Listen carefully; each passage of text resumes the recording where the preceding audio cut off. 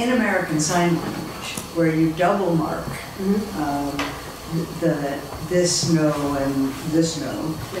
how do you ever uh, ex- try to, how do you ever violate the truth value of a sentence that has a negative element in it? You mean like how do you express the double It- negation? It's not true that John didn't come. Right, so I don't know how this works in all the, in negative concord languages. In general. In general, because that's sort of the problem, but there's, you know, lots of sort of more complicated grammatical structures you could put together. There's, in ASL specifically, there's also a manual sign For, there's an actual manual sign for for not. not, yeah. and So you can put that in German sentence while you're both doing this and. That's true, yeah, that's pretty ill-formed to just put that, it's not true that you have none, more commonly is like, you make something like, do you have none? No, you make some kind of question class-like structure, but yeah, um, in the case of ASL, there's also a manual sign, so you can, So there are two ways of answering yes, no questions in languages. One is to say yes and no relative to the proposition expressed as opposed to, is, I take it this is the same, roughly the same question. ah, yes, I have, we just have a paper on that. Oh, well, Uh, And my lab I about the polarity uh, yeah. alignment of ASL. Which, which is ASL? So you can get, it's kind of, so in English you can get both, basically, right? So you can, you can say, is it raining? No, is, are, are you- are you not coming tomorrow? And I can Well, only say, but if, are you not coming, but not, aren't you coming? You, Right. you don't get, no, there. Yeah, that's. yeah, okay. Are you not coming tomorrow? Yes, I'm not Well, coming. it used to be No. yea and nay, which used to do the same thing as yes and no, but with For the other way the- around. And we don't have a C, Isn't right? unfortunately. Uh, Right, we don't have the third answer particle. Sorry. Um, So ASL is, Yeah, so to get the it's, ki- it's a little if you want to ask the question with no, like is Mary coming? Do you, and she is coming, do you say, no, she is coming, or yes, she's coming? Is it Mary? no, you have to ask a negative question, right? So Is is, it- is Mary not Is coming? it, yeah, Is it. Mary coming? Uh, you can you most want to align with the polarity, but you can also make it sort of the other way around, where if you ask like a question and comment, if you like change the scope structure basically. Um, yeah. And so it's a little bit more like Japanese than it is like English, but it can also do the English like thing sometimes. Is the short answer. It doesn't actually relate to the. I mean, it's all exactly the same topic as this, um, but you can use more like a manual sign with the negative. Yeah, this is kind of a follow-up. It, it relates to not the uh, answers to negative questions, but to the expression of double negation versus negative concord. In, in negative, in, in some negative concord languages, and certainly in non-standard English, um, and maybe Child English too, uh, a cue is um, the intonation. Uh, and so in particular, there's a Wait, I thought difference intonation doesn't between, give us yeah, one. so, so, so there's a difference between, um, I didn't do nothing and I didn't do nothing. Yeah. Uh, and, and, you know, that, that one works pretty clearly, but, but also a lot of your data with, with any, uh, you, where you were saying that for adult speakers, you can get the free choice reading. Free choice any tends to have to be stressed. Uh, and I suspect that the any that the children are producing is more like the, the no, which is not necessarily stressed. Um, I, I want any, as opposed to I want any. Uh, where I want any could be free choice, but I want any is really impossible in, in adult English, you know, whatever the context is. I do have a good answer to this, Okay. which is that it's neither of those. Okay. So the free choice, you're right, you can tell, like I want any, you might Mm-hmm. even gesture with it, or, you know, it has a different intonation than the NPI, but it seems more like an emphatic, like I, like in the I don't want none, I want any, emphatically meaning none, right? So it's emphatic, but it doesn't have that sort of, in this, not in the same way as a free choice. Somebody should measure that better, but yeah, my, my tuition and also like the, So that sort of goes along with the Kadmon and Landman widening uh, idea of any, that that any widens the domain to consider Mhm. alternatives that previously were not. yeah. Yeah. Okay, we had, Garrett had his, his hand up and then we'll get to everybody. Chris, a few minutes up. So I don't know if this makes sense. Like the I was wondering about the two hypotheses you have at the end. Uh-huh. Is there a certain hypothesis, hypothesis that the kids are kind of accommodating to the way that the speakers, to the informativeness of the speakers? So it's not that they're punishing or they're motivated to help, but they kind of say, okay, well, this is how you did it, so I'm going to kind of accommodate this kind of level of, Um, or this means of being informative. well, I guess to my mind, accommodation has to have like some sort of uh, material triggers, and that's why we made sure that the clues that the two speakers gave were identical in form. So that, um, yeah. yeah, we, it wasn't the case that the, the one was using adjectives and the other one was not. So, in that sense, it cannot be that type of accommodation, but Be fairly abstract. there is this idea that maybe they're sort of paying back the partner. Um, Yeah, because it costed them some stickers, so. um, yeah. Just to follow up the, the question, so I love the study, but I'm trying to think whether there is any simpler, dumb explanation for the outcome. Mm-hmm. And one possibility may be that, as you said, uh, when you're interacting with an informative speaker, your communication is likely to be successful. Mm-hmm. When you're talking to an unhelpful person, your, your outcome of communication is really bad. So you don't have to remember anything about informativeness, but episodic memory of having successful conversation with this person, but not with this person, might just predict the same thing. So what do like, do they actually know anything about informativeness? Well, I guess, um, our informativeness rating test sort of says that they do make the distinctions between the two. So, Right, but the distinction may be that well, this person help me. With the existence of this person, I got the sticker. right. With this person, So, I didn't get a sticker. This is certainly uh, a caveat to Mhm. this because this was informativeness that affected the child itself. So informativeness and helpfulness are not teased apart here. So it would be interesting to Right. see if they would do the same if it was a third party interaction which they happened to witness and in which they didn't have any personal cost. Um, yeah, but um, Right, but I, I think it's still there, right? Like informativeness and reward are Mhm, completely not teased apart. So we're Yes. just trying to think whether there's any way.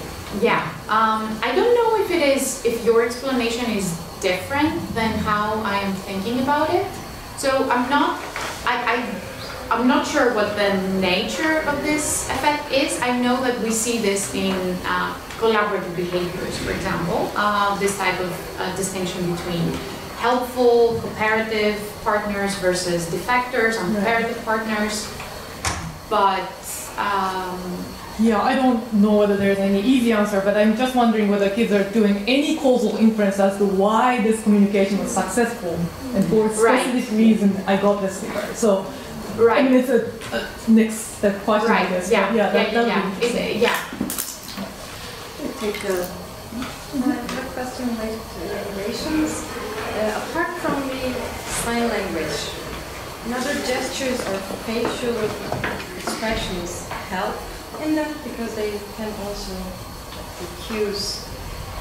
Yeah, I mean, they certainly help with rejection. In fact, usually kids are expressing it like, you know, not with words.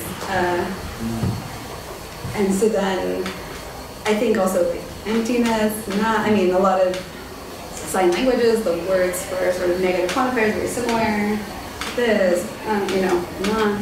And so those kind of gestures I think people produce all the time. So in terms of like aids to learning this concept, for the first first rejection, sort of concept of emptiness, I think it does help a lot. Like, but then when you think about like how do you figure out something like a negation of the proposition that you're trying to say, it's true that like we Any or some, I I don't know, some facial expressions like moving eyebrows and yeah in terms of like what age the child, probably like everything else. Even There's lots of cues, but yeah. Do they ever say, I want any? I mean, they're shaking Oh, with their their hand. handshake. Or they're going like this. Those are two perfectly good negations that go Right. with the, the word. I- This is just a, Yeah, that's a good question. I don't know. I mean, you don't have question, tapes right. of them. Um, I should see if some of the CHILDES ones are, are linked to the video. I didn't look. Um, I mean, they kids- could, they so, could also I turn their body away. I mean, there are various ways of showing negation Right, right, right. I in a mean, generic, uh, sorry, in a utterance length way. yeah, I mean, all of that kind of comes into like what, how are the kids interpreting it? And so like Lynn's coding, for example, she, she was trying to find like that this isn't, you know, she's sort of using whatever else is available in the context, the follow-up sentence, whatever cues are in the, you know, recording and things like that. Presumably also gesture, if there's video. The idea that, let's figure out what the interpretation is. I guess that all comes into play, including the context of like what are, like literally the bag's empty. Um, so I guess it's the question is like, how do kids learn that? I don't know which cues are important, If they're I'm talking to you, you're, they're using a hell of a lot of gesture. That was a. Oh, yeah, yeah. So we have a couple more questions here, so we want to make sure that we get to this person. Thank you. So with, with the task, um, with the kids are helping the puppets, um, how do we know whether the kids are just kind of copying or modeling whichever kind of puppet they got? Because maybe they see the puppet as a kind of authority figure in that scenario, or whether they're um, not just copying, but thinking about like the informative, informativeness of the interaction they had. Um, well, I guess thi- this is a similar question to what Gareth asked before. So, um, I don't think they're modeling per se because, um, as I mentioned before, the you know uh, external characteristics of the um, utterances that the puppets used were the same. Were the same for both types of speakers. Um, so whether, you know, they want to uh, do the same thing that the puppet did to them, this is um, an open question, but it, it's a possibility. Did you have- still have a question? Sure. I had a comment about negation. So if I understood your hypothesis, it's that when you have I didn't any, um, children sort of ignore the oops and think that the negation comes from the end. And so they interpret it as no, right? Right. And I was wondering whether indirect support for that is what we know about languages, that when they have, when the negative marker is higher in the clausal structure, then negative concord is obligatory. But when, and the negative marker always tends to be uh, phonetically reduced, right? Whereas when the negative marker is lower in the structure, closer to the VP, then negative concord is either impossible, but most likely it's, most, in most cases, it's not obligatory. And the negative marker tends to not be reduced. It's a nicht or nicht or Yeah. Ah, and so I wonder whether um, the two things go together, right? The, the sort of ability or, you know, strategy of ignoring the negative marker when it's higher and taking that NPI to be a negative quantifier. It's just a suggestion. Yeah, interesting. I mean, kind of going to Larry's discussion about the asymmetry, but not just in terms of an object, but was it like causal negation or Yeah, something? yeah. Yeah, I mean, it seems like maybe what kids are doing is like building up something functional, sort of in the VP. Okay, what in my event talking about? Eating nothing versus so what is the what is the event kind of thing that we're talking about? Eating nothing or not, you know, the absence of cookies, cookies having none of them or something like that, or not having cookies. I don't, I mean, this is total speculation, but in terms of like thinking about the child, like co- cognitive development with the potential language structures they're mapping to it, maybe if they, that other stuff seems somehow like functional and something about, you know, tense and other things, depending on the clause type, if it's like, you know, subjunctive, it's just much more functional. It's stuff that kids can have a lot of hard time with, and also in English, it's on the auxiliary, you kind of ignore, I don't know what that word means. Um, there, I think that makes a lot of predictions that would, that are nice because we could test them, and we haven't done that yet at all. So um, that's another tie-in that I hadn't thought about. So thank you. Okay, we, um, we got quite off schedule this afternoon. Um, It's okay, we are, we'll take you away from the party. Okay.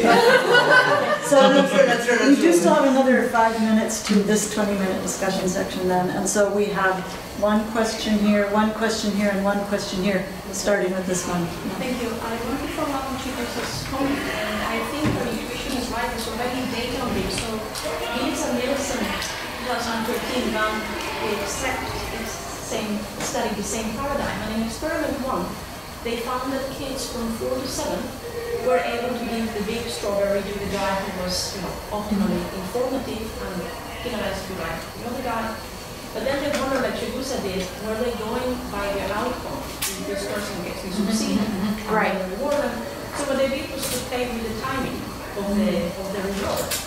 The puppet gave the, the they had to give the before they saw whether that would mean that was or a success or failure, and then the ages were split. The younger kids, the four and five, were a chance with their strawberries, six and seven knew the, the the informative Right. deserved the biggest. So, so to in the right direction, not, are ways of getting the right response, which may not be tapping really on connectivity expectation. Right, right. I guess here we uh, just wanted to create a situation where we had uh, taken as a fact that the one is informative, the other is under-informative, and then we wanted to see whether these inferences would affect their subsequent behavior. Uh, But uh, we're definitely interested in seeing how, um, you know, whether these inferences are truly about informativeness and, uh, yeah, when they break apart. Yeah. Thanks, I'll look in favor, I think I've seen it. Um, Kathryn, I was thinking you might want to look at the dissertation by one of Aliyah Morgenstern's um, uh, students. I think her name is Stéphanie Caët. And what she did was track all the forms of negation, gestural and verbal, in an English-speaking child in Britain and I think also in a couple of French-speaking children in Paris.